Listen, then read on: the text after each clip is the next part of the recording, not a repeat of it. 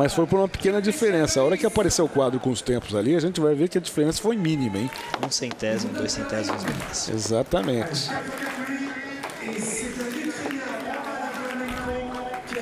Já essa, essa derrubada do sarrafo foi por bastante centímetros.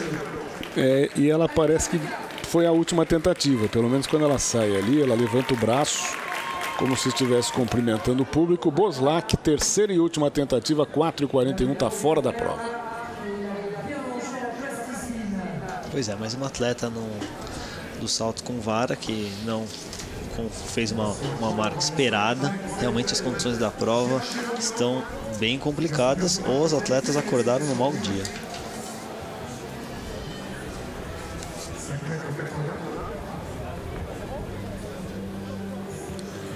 Portanto, a francesa Vanessa Boslak vai ali ainda conversar um pouquinho com o treinador, mas realmente já está fora, né? Foi a última tentativa para a marca de 4 e 31. Nesse instante nós temos a lista de apresentação dos atletas para o lançamento de dardo, é isso? Ou não? Você que é um bom tradutor de francês, me ajude a isso. Pronto, lançamento de dardo. O javelin para o francês é javelote. Mais uma peculiaridade da competição de hoje, né? Aprendendo o nome das provas em francês. Até para mim está sendo um grande aprendizado. É, o nosso Toninho aqui do, do site bandesportes.com.br, nosso Toninho estava dizendo exatamente que essa prova do Perche Perche Femme. Falou, o que, que é Perche Femme, Toninho? Falou, olha, o seguinte, eu, eu como sou um, um grande pescador,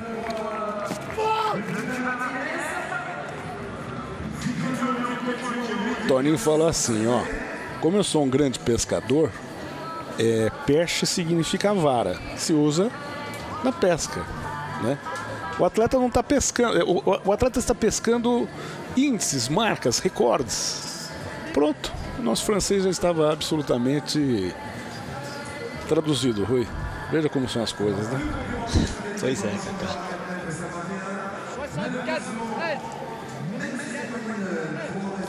Bom, vamos analisar então a prova do lançamento com dardo.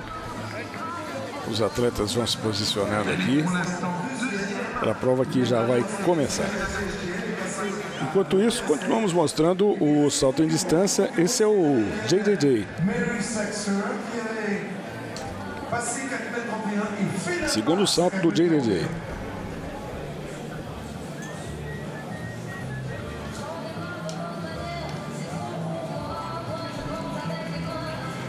JJJ que põe o colarzinho dele para dentro, vai continuar batendo na cara durante a corrida. é, eu não sei como. E é grande, hein? É, eu não sei como ele não, não se machuca com isso. Deve estar muito acostumado, né? É, pisa, pisa aí com pelo menos três dedos ali, algo em torno de 4 centímetros. Precioso que acabou perdendo ali o JJJ. O campeão olímpico é o Greg Rutherford, da Grã-Bretanha, com 8 e 31. Britânico alcançou a marca de 8 metros e 31 em Londres. O campeão mundial é o Dwight Phillips, dos Estados Unidos, com 8 e 45.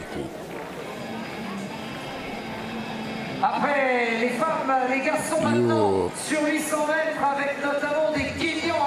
e o recorde mundial continua com Mike Powell, 8,95 no Meeting Top Tóquio em 91, numa prova épica contra o Carl Lewis, quer dizer, foi uma das maiores provas de todos os tempos aí no, na disputa no salto em distância. Aquela prova foi histórica, né? Uma, uma sequência de batedas de recorde, saltos queimados, mas está tá longe de ser batido esse recorde, né? São quase 9 metros, né? O ser humano se projetou quase 9 metros é, em um salto só, é muita coisa, né? Hoje em dia nós não temos saltos próximos disso. Eu não acredito que vai demorar um pouquinho para bater esse recorde, a não ser que apareça um Bolt do salto em distância, né? Ou seja, um fenômeno mesmo, né? Aquela época foi dourada, né? E, e, e o Caulista era corredor em provas de 100, 200 metros e tal, além de saltador. É, conseguiu nove ouros olímpicos e sempre negou qualquer possibilidade de doping numa época que era muito comum atleta se dopar. Sempre. Você vai morrer negando. Mas alguns indícios, né, e aí não são nem provas, porque ninguém conseguiu provar nada. Enfim, coisas que a história do atletismo conta, né, Rui? Pois é, se houver provas, ele continua inocente, né? E devemos acreditar é, em suas palavras. É, recentemente, até no, no, ciclismo, alguns fãs tiveram decepção com é, Lance Armstrong. Do, isso, do, da confissão dele. É, e vale lembrar que alguma essa parte de doping também foi só descoberta algumas coisas devido a confissões de atletas. Até o, o, o laboratório, o Balco, Balco, né? Ele ele, ele foi, foi através de denúncia, né, de confissão, senão poderíamos estar até hoje sem saber é, ou sem descobrir algumas substâncias como THG.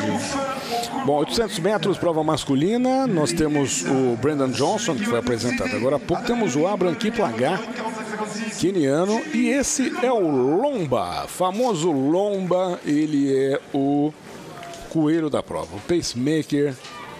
Vamos ver se o Lomba vai conseguir fazer um bom trabalho de, de ditar o ritmo aqui, né, para os competidores. Aí vamos nós aqui.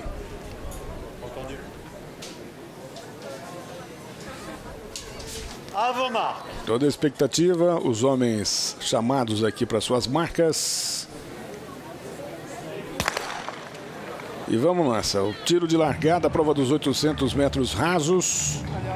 Vamos ficar de olho exatamente no Brandon Johnson e no Abraham Kiplagat. Atletas que conseguiram né, melhores tempos aí pessoais, que são decididamente os favoritos desde que o Lomba assim permita, né? Porque ele vai como coelho ditando o ritmo até a reta oposta da segunda volta. O Brandon Johnson está numa fase um pouco acima aí dos outros, né? Ele e o Taylor Mulder, os dois norte-americanos. 800, é, como no feminino, é uma, é uma prova que depende muito de, da estratégia. A passagem na primeira volta também é muito importante. Nós vemos às vezes em meetings os atletas passarem muito forte a volta em busca de tempo e no campeonato mundial eles passam mais fraco para tentar jogar, é, tentar ganhar no, ou no final ou então quebrar um atleta que tem um ritmo um pouco mais forte e tentar é, acabar com a estratégia desse atleta que passa mais forte. Né? Um jogo de estratégias muito interessante no 800 metros. Brandon Johnson está na frente, o Coelho saiu muito rapidamente, não aguentou o ritmo, Coelho. E aqui a gente vai contornando então a última reta, entrando aqui na, na curva final. O Johnson vai sofrer o ataque por fora, hein? O Johnson vai sofrer o ataque por fora. Olha que na curva não é fácil, não. Vamos ver como é que ele vai se defender do Mulder. Tylon Mulder, o americano mais alto, vem junto ali. Olha o sprint final, os dois tomaram a passada. Vitória surpreendente no finalzinho. O Ananenko, Anis Ananenko, da Bielorrússia, vence a prova, vem por fora ali na raia 3 e leva os dois americanos. Impressionante esse finalzinho, Rui. Você vê, como eu comentei da estratégia, né? Ele que ficou ali no bolo, ninguém, até pelo tempo, ninguém confiava muito que ele poderia vencer a prova, enquanto o, o Mulder se preocupava com o Johnson, Johnson com o Mulder, apareceu o Ananenko surpreendendo lá pela raia 3, um sprint fantástico. E vale lembrar, eu gostaria até de rever se a câmera, se a nossa imagem permitir, enquanto houve um ataque pela raia 2 desde o começo da curva, o Ananenko corria pela raia 1 é, e ele só abriu não faltando 80, é, 70 metros, né? Então, ou seja, às vezes você quer dar um sprint no meio da curva, você vai lá para a raia 2, você acaba correndo um pouco mais e a estratégia da Nani foi sprintar no final mesmo, na reta onde ele não perde essa é, é, não perde essa distância, né? Ele não corre a mais a prova. É, como o atleta não tem espelho retrovisor, mas tem uma visão periférica, né? Você pode até imaginar que alguém surja de algum canto. Então você fecha ali a primeira raia e tenta se proteger ao mesmo tempo, aumentar a velocidade para não, não ser ultrapassado por ninguém. Mas de repente aparece um intruso que vem feito louco ali, feito uma vaca louca. E foi o que aconteceu com o Ananenko. Né? O Ananenko surgiu na, na raia de número 2 e simplesmente atropelou os dois americanos. Pois é, ele não, não tem um espelho retrovisor, mas eles acabam ouvindo sim as passadas, né? Ah, só que às vezes, a, a, como o foco está do lado, ele está disputando posição com o atleta do lado, ele não ouve, não acredita que vai vir alguém atrás. E na hora que vê já é tarde demais, né? Não tem, faltando 30 metros, o cara passou ele, não tem como reagir. Bom, já já a prova dos 400 metros para homens e mulheres, você acompanha ao vivo, direto da França. Enquanto que a gente continua mostrando também o salto com vara feminino, o salto em distância masculino. Terceira e última tentativa para Cristina. Aí vem a Cristina Gotchev. Se não passar, ela está eliminada. Vamos lá, vamos só ver essa, esse salto da Cristina. Aí vem ela, Cristina Gatchev, da Alemanha. Se não passar, tá fora. Não passou. Despede-se, portanto, do evento. Nós já voltamos. Band Esportes, o canal de todos os esportes.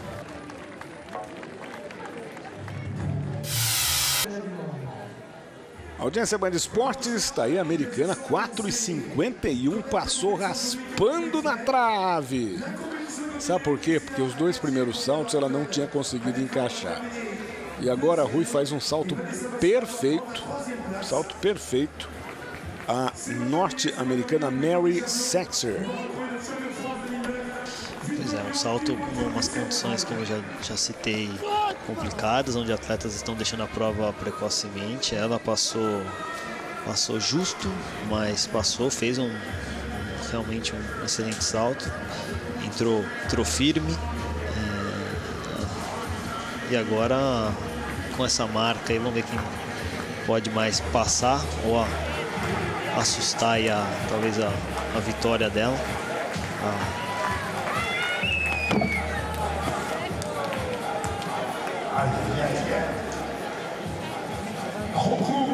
dado interessante aqui do salto em distância, né? Vemos atletas aí com, com técnicas diferentes, técnica da pedalada, que é aquela técnica que o atleta corre durante o ar, e esse que acabou de fazer, ele não faz a pedalada, ele bate, ele já prepara para a fechada e só faz o, a projeção mesmo para é, fechar o salto, ou seja, jogar as pernas lá na frente para tentar ganhar o máximo possível de, de distância.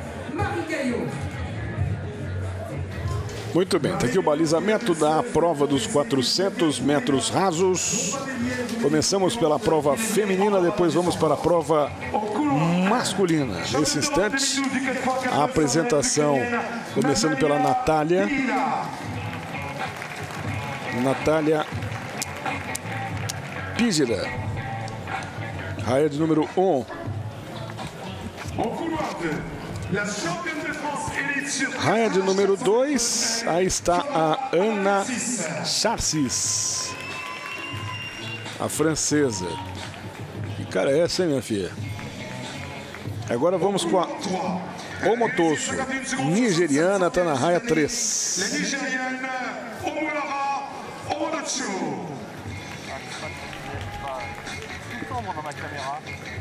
Bora, raia de número 4. Vamos acompanhar aqui a Christine Day. Ela que é jamaicana. On en parlait il y a quelques instants, elle occupé le couloir 5.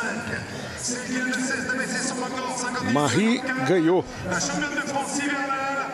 Francesa está na raia de número 5.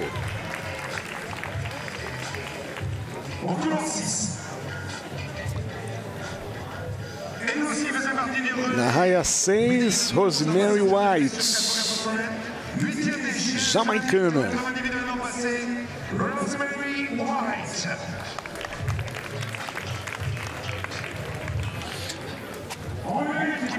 Muito bem, temos aqui a Lenora Firmin Guion, da França. E na raia 8, Muriel Hurtis, também francesa. Ela que fecha o balizamento.